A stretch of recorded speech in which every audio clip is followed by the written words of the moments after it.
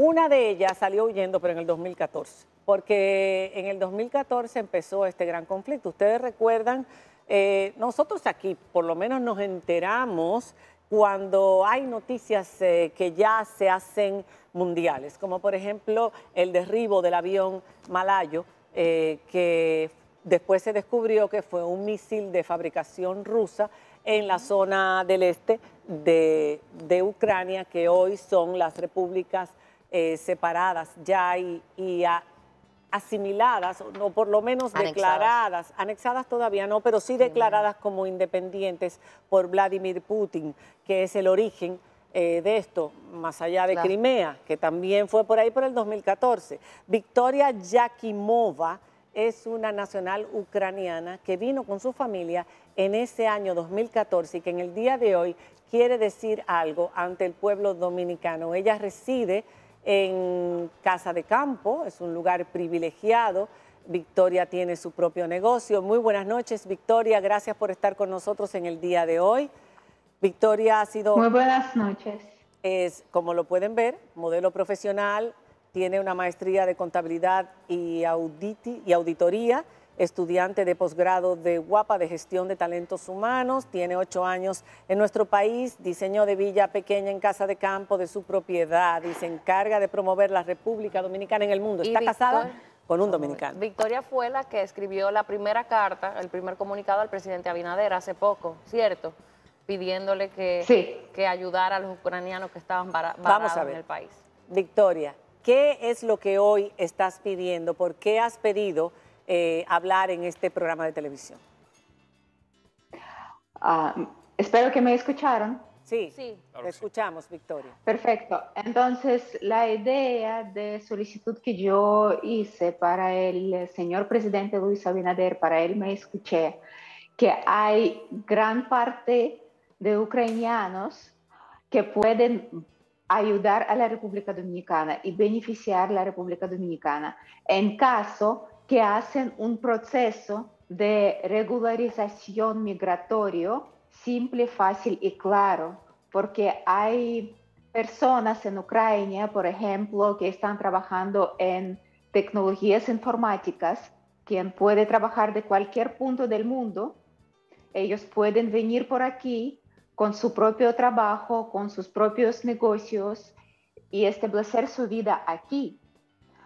Porque ayudar a los turistas para estos 15 días está muy bien y yo estoy muy agradecida para el gobierno dominicano y para pueblo dominicano que se apoyan tanto ucranianos en esta situación.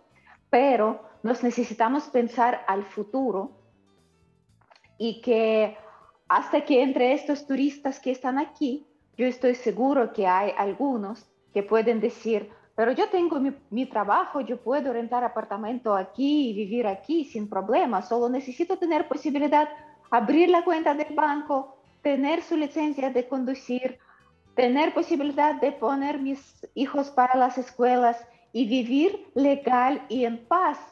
Y eso estaré la situación ganar y ganar para ambos países, que ucranianos estarán en paz, la República Dominicana va a tener personas con sus negocios, con su dinero, con su nivel de educación, que va a traer más empleos para la República Dominicana y invertir dinero por aquí.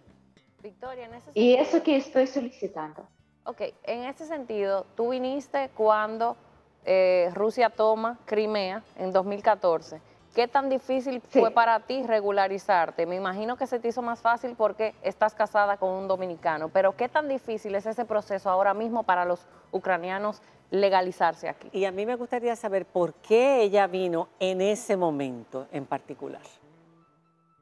Ah, vamos a iniciar desde el inicio por qué yo venía. Porque ah, mi familia entendí que un día puede ser la situación como hoy que el Crimea y Donetsk y Lugansk, eso es solo inicio, eso no es final. ¿Dónde vivías tú? ¿Dónde vivías, Victoria? ¿Dónde vivías? Yo, yo vivía, yo vivía eh, en el parte sur de Ucrania, cerca de Odessa, que están bombardeando también ah, ahora. Yo tengo amiga que que me escribió en la noche cuando todo inició y, me dice que Victoria, eso es 5 de la mañana y me levantó porque me siento como bombardeo.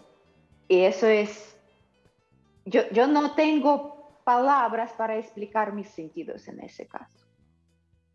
Victoria. La pregunta Por eso, porfa. La pregunta que dejé de qué tan difícil fue legalizarte aquí. ¿Cuál es el proceso para la legalización? Segunda, sí, eso es segunda pregunta.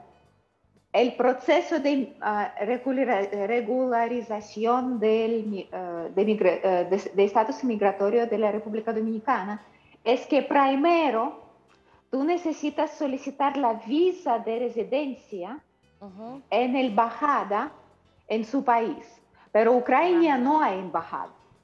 Ya el embajada responsable está en Rusia, en Moscú. Victoria. Es primero.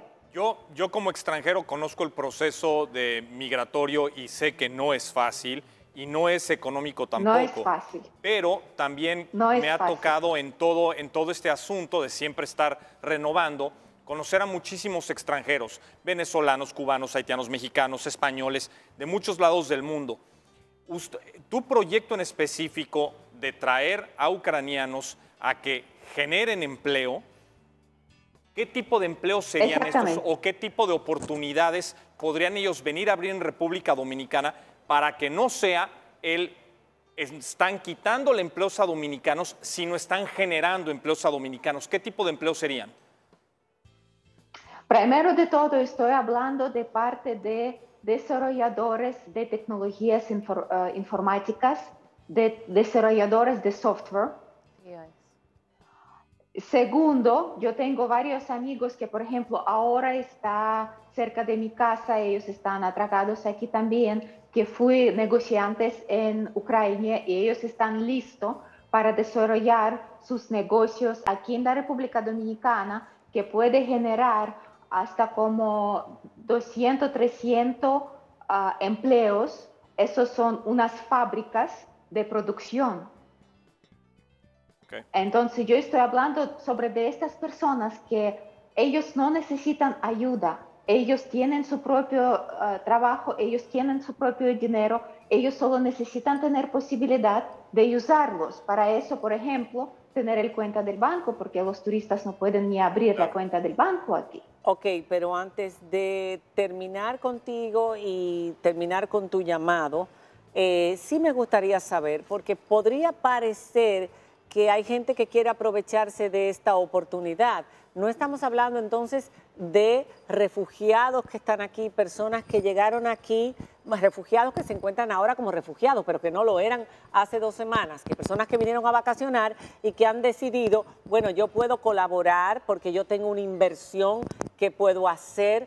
Ahora mismo es muy difícil eh, el asunto de pasar el dinero de un banco a otro, etcétera, etcétera. Tú estás hablando de ucranianos que están en Ucrania o que se han ido a otros lugares y que tú quisieras atraer a este país para yo Exactamente, exactamente. Eso sobre de qué estoy hablando. Por ejemplo, yo puedo decir que Canadá está desarrollando, ahora ellos no están firmando, pero ya están desarrollando el proceso para ese tipo de ucranianos, que hay página donde tú puedes registrarse, explicar qué tú puedes hacer después, venir para el país, obtener su permiso de trabajo y continuar eh, su vida y, ya. En ese caso, yo como persona de área de tecnologías y todo, yo puedo decir al gobierno, al presidente, a todos los funcionarios, si usted va a necesitar la página para registrar,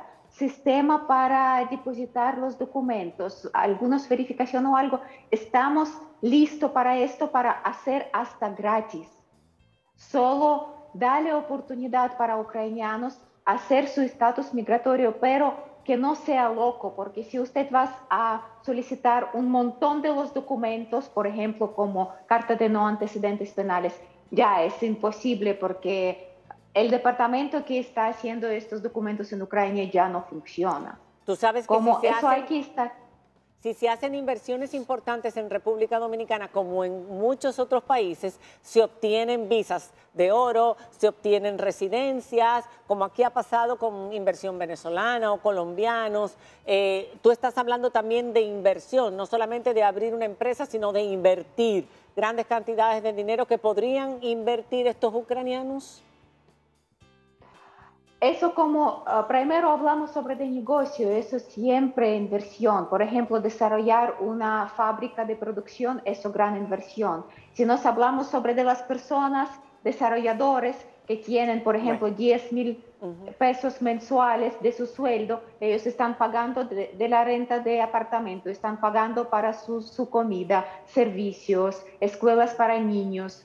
Uh, ¿Y dónde están esos ucranianos, Victoria? ¿Dónde están? Ahora? Por ejemplo, eh, algunos de estos ahora están ah, en Moldova, en Polonia, ellos están decidiendo dónde ir. Por ejemplo, ahora en mi casa yo tengo una familia que ya está aquí. Yo tengo dos familias aquí en Casa de Campo que están listas para vivir aquí en caso que ellos estarán seguros que ellos están protegiendo de parte de residencia. Yo estoy esperando tres familias más en 10 de marzo y vienen más. Yo estoy hablando sobre de varios cientos familias que tienen su estado establecido de financiero, de parte financiero, que tienen su nivel de educación, que pueden hacer intercambio de experiencia con la República Dominicana, con, uh, con trabajadores de la República Dominicana, que, que pueden dar una gran inversión que no solo dinero, que su inteligencia y su experiencia. ¿Y eso porque creen que la guerra va a durar mucho tiempo? ¿No piensan volver a su país, que esto termine, aguantar un tiempo para poder volver a su país? ¿O es que ya han abandonado la idea? ¿Qué es lo que piensan? Eso que, eso que yo estoy hablando sobre de que hay parte de las personas que no tienen dónde volver. Si nos hablamos sobre del Kharkiv, no hay sitio más y hasta que si la guerra va a terminar mañana, necesitamos tiempo para renovar Ucrania y todo. Y en ese caso necesitamos el parte de economía que hay que funcionar. Para esas personas podrían vivir, podrían soportar su familia, podrían soportar familias en Ucrania, podrían soportar ejército en Ucrania, porque guerra está muy costosa y necesita dinero. Sí. Muchas gracias. Pero para... Perdón, termina, pero para... Sí, para, para la República Dominicana, en ese caso, como dominicana, como ciudadana de la República Dominicana, lo vi la oportunidad para el país para tener uh, opciones y para tener inversiones y para atracar, uh, atraer más buenas personas que pueden ayudar al país. Bueno, eh, la ley de migración es clara en ese sentido y en este caso eh, que hay un conflicto, que hay una guerra, que hay una situación en particular, también, bueno, se pesca en, en, río revuelto, como dicen, y hay muchos países que Hacen pueden, excepciones. Exacto, pueden sacar beneficio de esta situación. Ojalá que tu llamado sea escuchado eh, porque no deja de ser muy interesante y son rubros que, que, nosotros necesitamos. Mientras más empresas de ese tipo para los parques industriales, mejor. Gracias por haber estado con nosotros, Victoria, y pues nuestro corazón para, para ti y los que quedan de tu familia en tu país, deseando la paz lo más pronto posible. Así es, muchísimas gracias para la invitación y, y para su apoyo. Hacemos una pausa, pero los dejamos con Anderson Humor y las noticias de estos días. A modo de humor, el fin de semana estuvo movidito, ¿sí? Vamos a ver, Anderson, cuéntanos.